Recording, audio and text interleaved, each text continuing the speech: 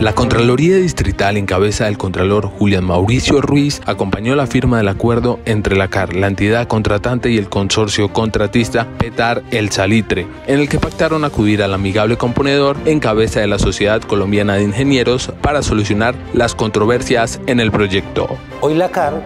y el consorcio constructor de la Petar Salitre acordaron que sea un amigable componedor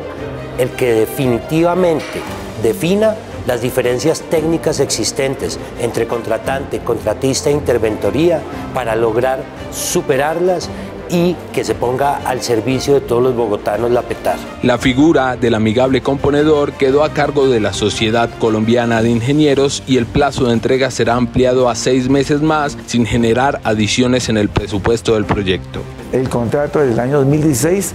venga a dirimir algunas diferencias que hemos tenido entre la firma contratante y el contratista.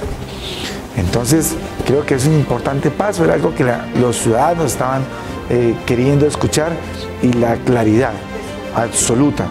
de que este contrato, independiente de las diferencias, en ningún momento tendrá un peso de sobrecosto. La Contraloría de Bogotá pidió tener presentes las recomendaciones técnicas del acueducto de Bogotá para que el proyecto funcione de manera óptima y los recursos de la ciudad estén salvaguardados.